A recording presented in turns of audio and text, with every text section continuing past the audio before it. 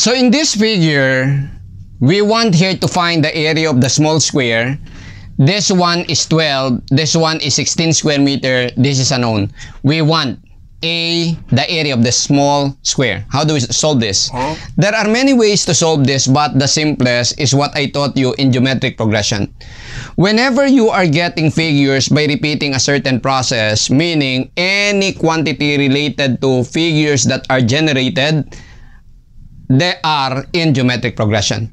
Meaning, since this square was obtained in the same manner as this square is obtained from this square, the areas of these squares are in geometric progression, meaning they have the common ratio. Meaning A over 12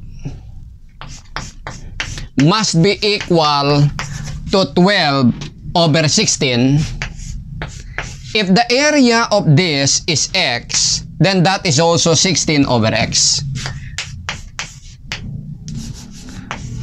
So, solving this equation, we therefore have A is going to be equal to 12 over 16 times 12. A is going to be 9 square meters. You follow?